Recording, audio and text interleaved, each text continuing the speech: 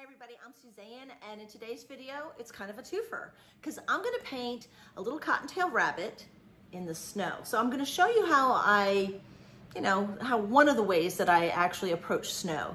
And I wanted to keep the colors very cool because my rabbit's colors are a little bit warmer. So, uh, so you're gonna get to see how I paint a little cottontail rabbit and you're gonna get to see how I paint snow.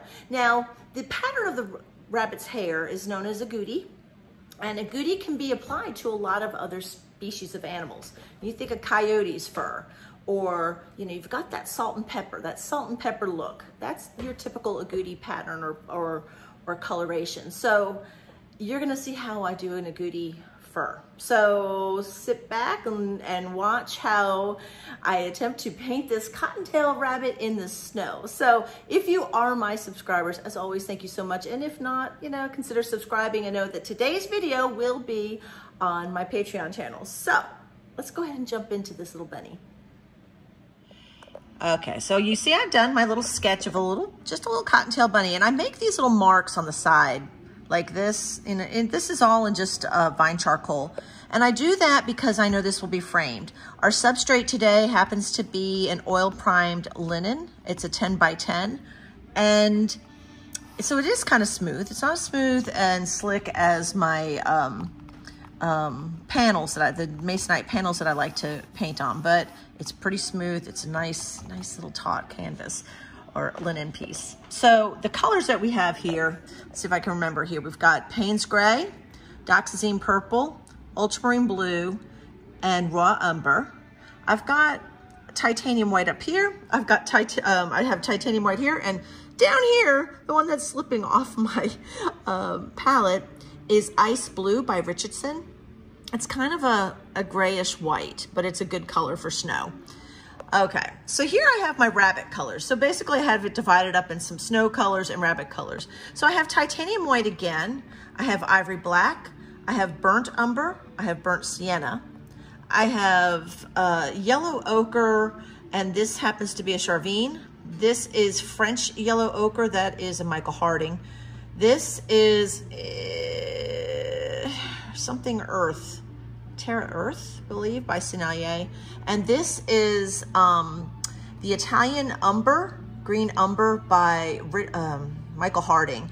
I wasn't really sure. I know this is, I want this rabbit to be more cool in temperature because he's, I'm going to have this little bunny just set in the snow and I wanted, you know, the bunny looks like he's hunkered down, ready to be pretty cold. So I wanted the green umber because oftentimes I'm gonna be mixing that into some of the fur. So let's go ahead and get started with this little bunny.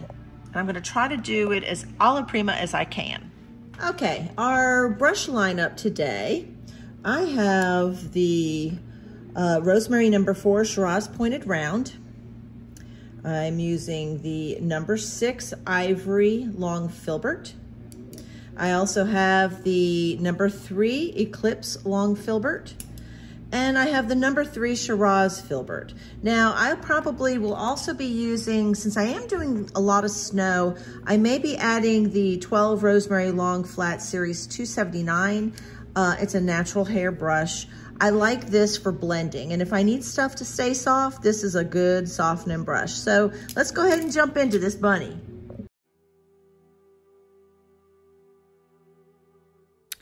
Since I did just a very loose sketch with the vine charcoal, and as you could see earlier, I kind of smudged it a little bit, I've got to set my sketch in, and I'm just using a little bit of basically just raw umber paint, very thinly, just kind of securing my lines, so to speak, of, you know, so I can go ahead and block this bunny in. Now, as after I get this all just kind of sketched in, I'll actually start doing an application of paint. But when I'm putting the paint down, you'll see I'm going very thinly. I'm basically practicing the whole fat on lean concept where I'm putting all my dark colors down first, really, and just doing it very thinly. And I just need to secure where my bunny's going and block them in.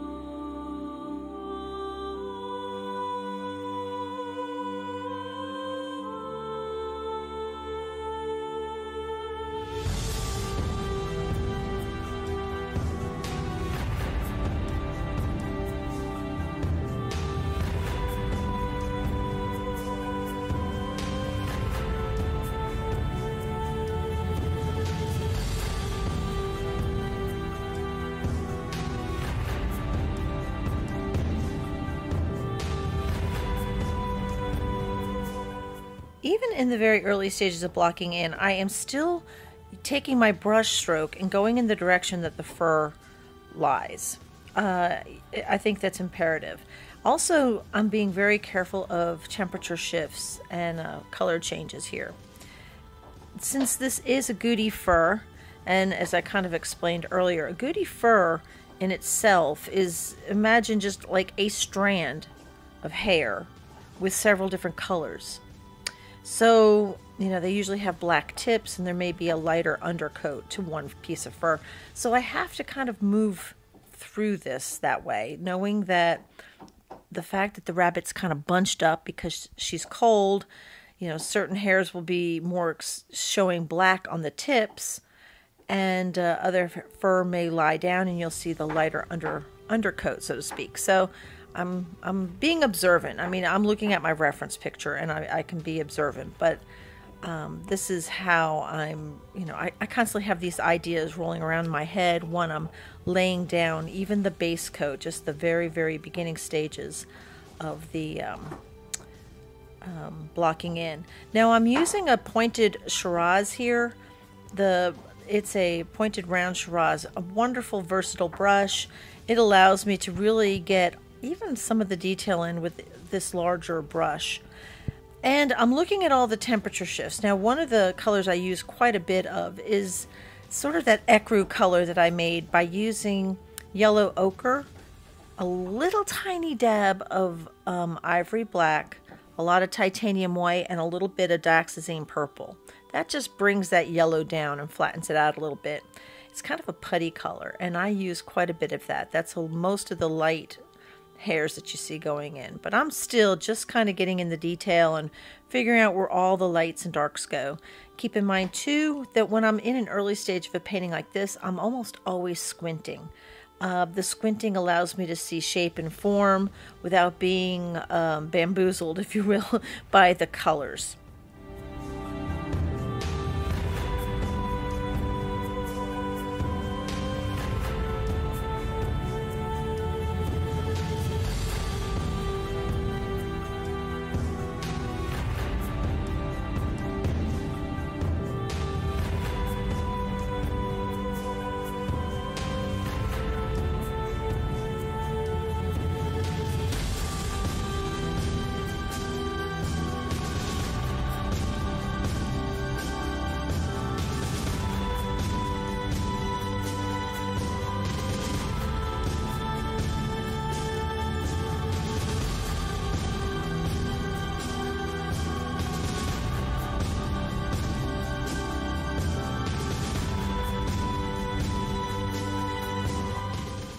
That I got the basic rabbit shape in, I'm going to take this Eclipse Long Filbert, it's a number three, and I'm going to go ahead and suggest where the background's going. And I'm, I'm wanting to create some branches and twigs around the rabbit so as to not leave her uh, vulnerable. That's just me. That's how my brain works.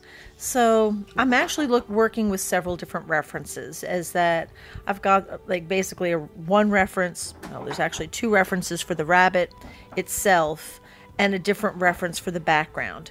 And I've also got to kind of figure out where the shadows are going. So I'm taking the um, I've I'm sorry I'm taking um, um, the ultramarine blue with Payne's Gray and a little bit of the uh, Dioxazine Purple. And that's basically the color you see me doing here. And you're probably wondering, what the heck is she painting? What I'm painting in is the shadows on the snow that the trees are creating with the light. And this now I'm going in with a light purple color in between the shapes, and that's my snow. So it'll all make sense, but the color that I've mixed here is titanium white, dioxazine purple, a little ultramarine blue. And uh, so yeah, it's it's it's chilling down. But this is me creating the snow.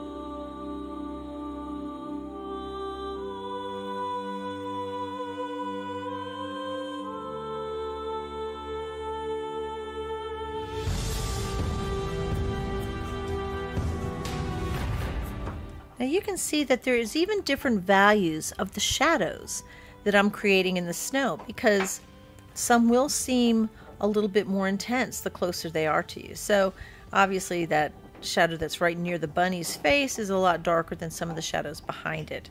And I'm taking that soft brush I talked about in the beginning of the video and I'm softening everything up. Just kind of taking off the edges and softening it up. And you can see that's creating a very nice look for my shadows. Uh, you have to forgive me. My dog Singer is working on a bone and he's got it on the hardwood floor. And guys, I try to get him to to do it on the rug, but that's what that weird noise is in the background. But anyway, um, so yeah, I am taking that same um, Eclipse Filbert number three brush and kind of, you know, making my tree branches a lot more solid. So compared to the shadows, this will, the tree branches and twigs and stuff will be very, very uh, sharp and um, more in focus. So I'm just kind of suggesting where all the branches are going and keeping my little bunny a little bit more secure.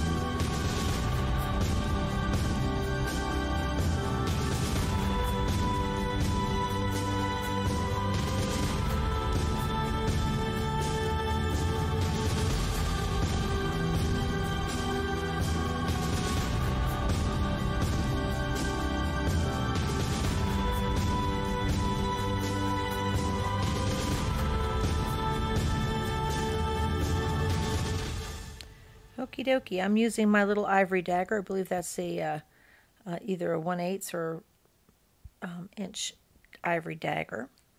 And I'm putting a lot of the darker guard hairs in.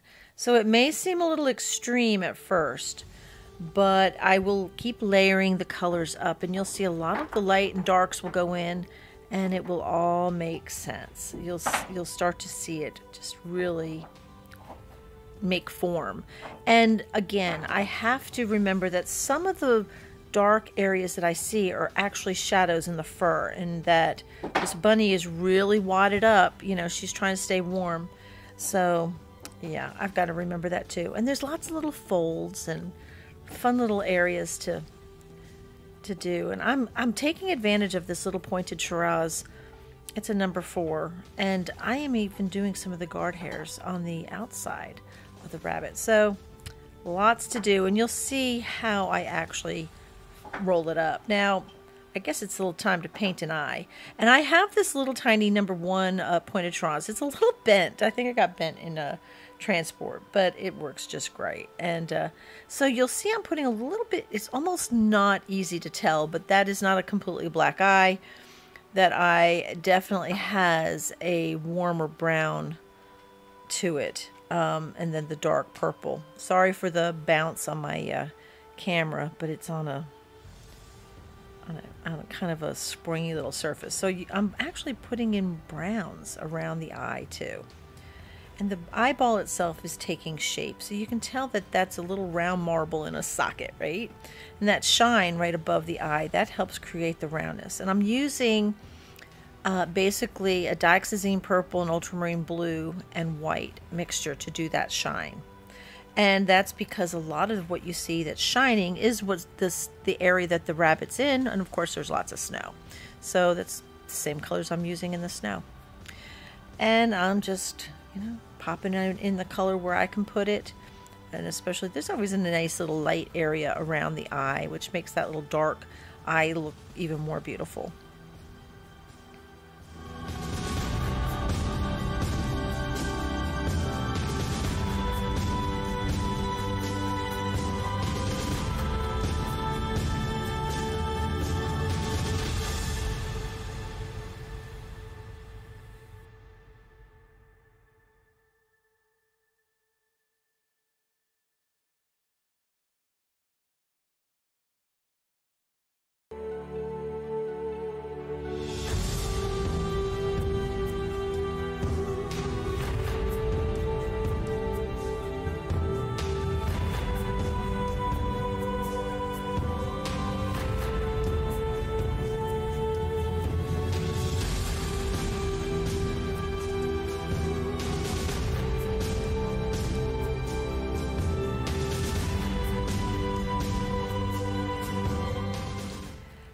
putting down kind of a base coat to the top of the little bunny's head, um, I am going to take one of my um, dagger brushes that happens to be somewhat frayed. It's just one that I've used to death.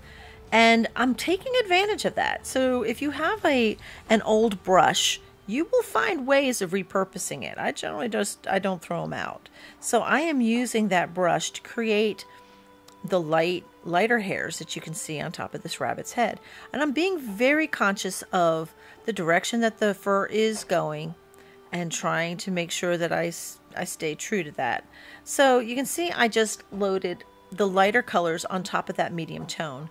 And then I switched brushes on back onto the pointed round Shiraz filbert and slowly creating all the forms and shapes in this little rabbit. And uh, what a fun piece. This is truly a fun piece. And I just love rabbits' noses and lips. I think rabbits have the cutest little mouth with their little bottom lip. And you'll see, I'll get it in. The photo reference that I'm working from doesn't really show it well. So I'm using other photo references to create the mouth area on this rabbit. And uh, yeah, she's coming, she's coming about. So I got to pull back a little bit so you can see more and I'm still, so you can see that that brush looks a little rough, but being that it is rough, it's creating more than one hair for me at a time. And it's really the perfect brush for the job. An old, I think it's a quarter inch or maybe an eighth inch um, ivory dagger by Rosemary. Working its little butt off, it sure is, because there's lots and lots of hair to create.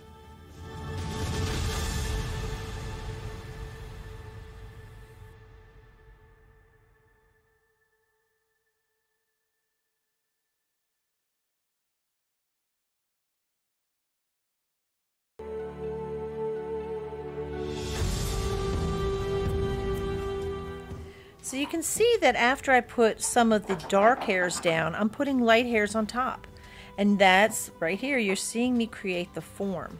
So I'm actually rolling those, the edges of those um, hairs to, to go with the direction of the fur and the way the body is rolling. And, and rabbits, especially females, have what's known as a dewlap. So they have an area where they can pull fur to line their nest, and that's why they usually have these little rolls or tufts of fur under their chin. And uh, yeah, so I'm filling her out and putting in all the lighter features and lighter areas. Now the feet are so cute, and I'm I'm really trying to get that in, and I'm using um, a number one Eclipse filbert, long filbert, getting in her toes, and I have to say, the angle that this is, it's somewhat distorted. The rabbit's not quite that uh, dwarfed looking. Um, it's just the angle that the uh, camera's in. You'll see at the end. Now, they do have that lighter undercoat, and I'm trying my best to get the whites in, but sometimes it's a little too strong, and I have to back off and, and try to uh, soften it up a little bit. But yeah, it's happening.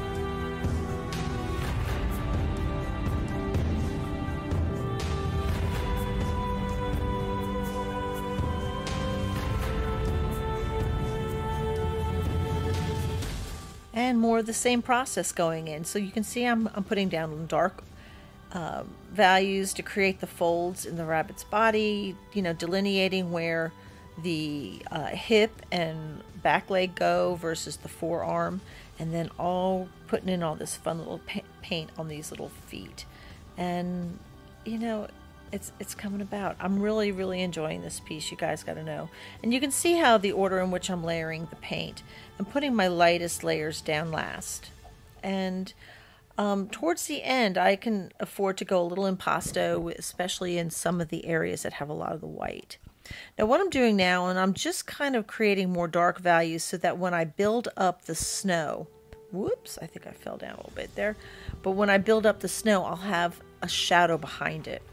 Now I got to finish this ear, and I'm using um, Payne's Gray, and because uh, I didn't really want it black black, I wanted it to be more of a cool color. And uh, ivory black tends to be a warm black, so I'm, I'm actually going with a, a straight on Payne's Gray, and then putting this lighter color on top. And I'm using the the that small little uh, pointed round Shiraz brush. get those little ears in, those sweet little ears. And uh, now, the original reference that I was working from to do this piece, actually, the rabbit had a lot of snow on her body, and I didn't want to do that to her. So I have to kind of fudge a little bit on the um, ears and make them, um, because I can't depend on the snow to uh, tell where one ear starts stops and one ear starts. So, but I'm putting the lighter values on top and then slowly building it up. And I like the little wrinkles in her forehead. It's like the, you know, so I'm putting all these little dark areas and then bringing the light ha- hairs on top of the dark hairs.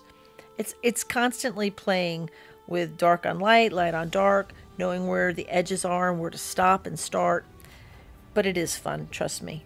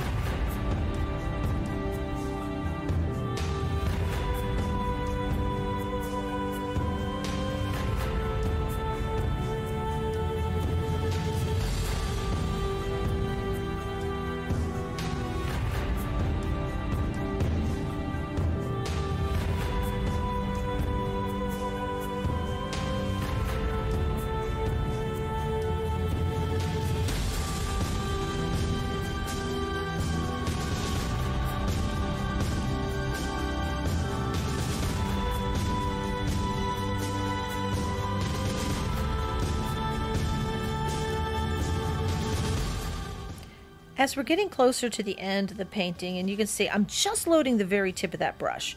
Just the tip, y'all. I, I, I don't want to have to press because I want the hairs to look fine. So I would much rather load more often than to try to get the most out of a brush and press harder because then I get really fat hairs and I don't want that.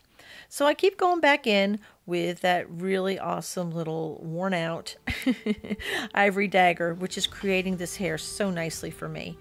And knowing where to go where the temperature shifts are because this part of the rabbit that I'm painting now has a lot more grays to it and it's a little bit cooler in some areas and some areas of the rabbit look really really warm so i'm going back and forth between the colors and i'm just but i'm really pleased with how this rabbit looks because it definitely has that agouti appearance to its fur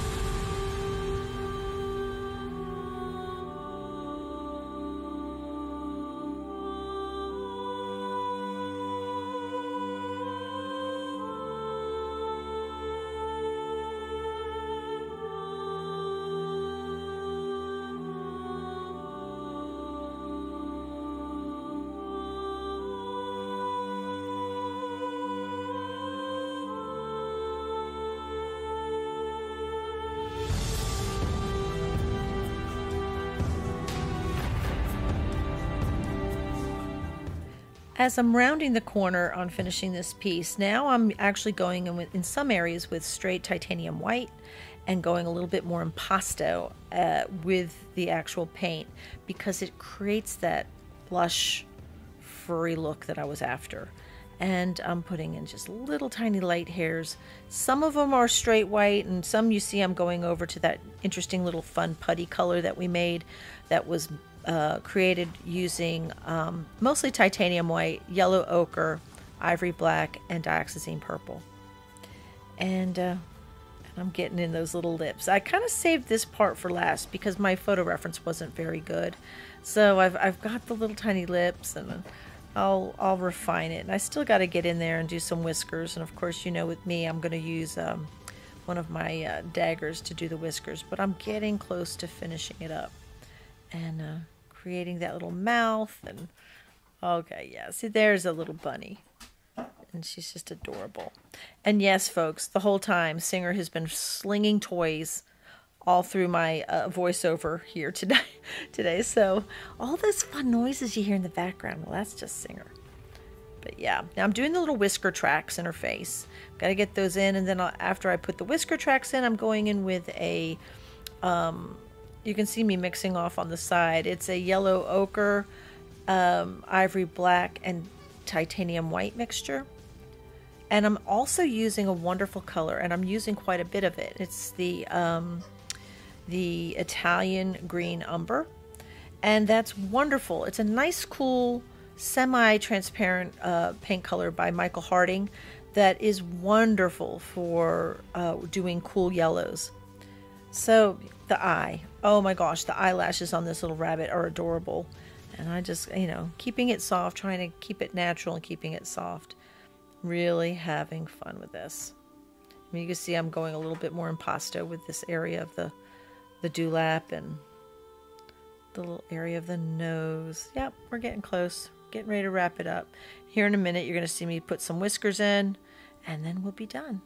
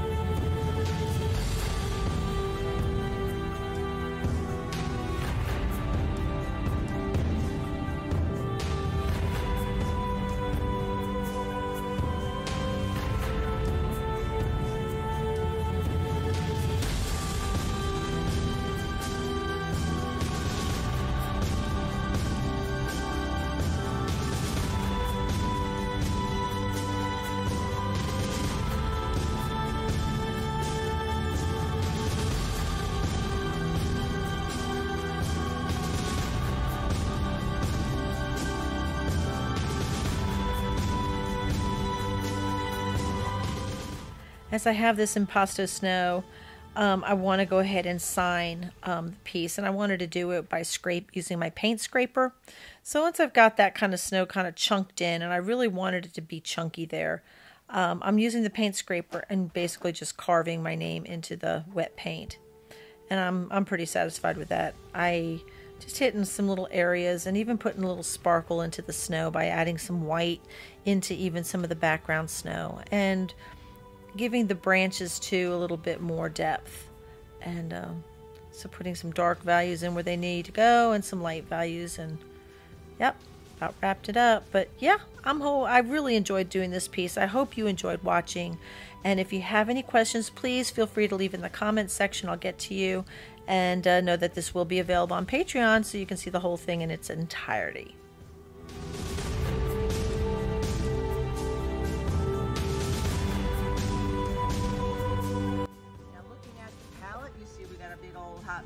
Still kept it pretty separate with my, you know, rabbit. See, that's air quotes. And it could be a bunny. Depends on how you look at it. But here we have what I considered my rabbit colors. And you can tell I didn't use a lot, like burnt sienna, hardly at all. Uh, even the burnt umber. I used more raw umber and the cooler colors going into the rabbit. Uh, this was the color I used a lot of, and that was the yellow ochre, um, titanium white, a little bit of, tiny bit of ivory black and dioxazine purple.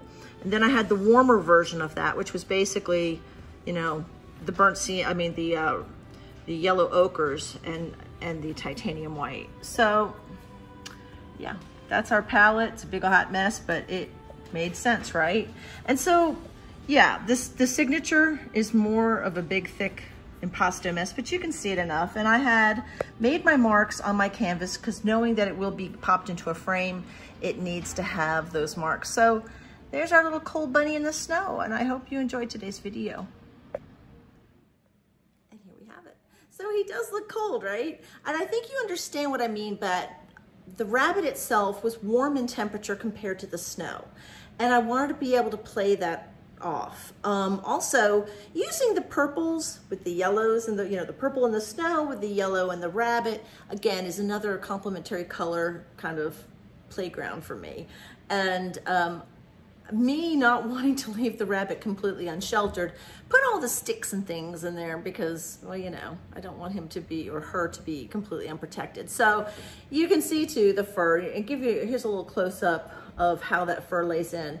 So I think um, if you guys have any questions about how I uh, did this for, um, you know, leave it in the comment section. If you're curious about the palette, anything, just leave it in the comment section. I'll get to you, I promise. And know that you can watch the full length version with me just chatting away and people coming in the studio and all that good stuff. You can watch that on Patreon if you're interested. So yeah, this was fun. I hope you enjoyed today's video. And if you did, you know what to do. Give me a thumbs up. I like that and let me know I'm doing a good job. If there's something that you'd like to see me paint, leave that in the comment section too. And if you're not a subscriber, you know what to do. Go ahead right there, hit the subscribe button.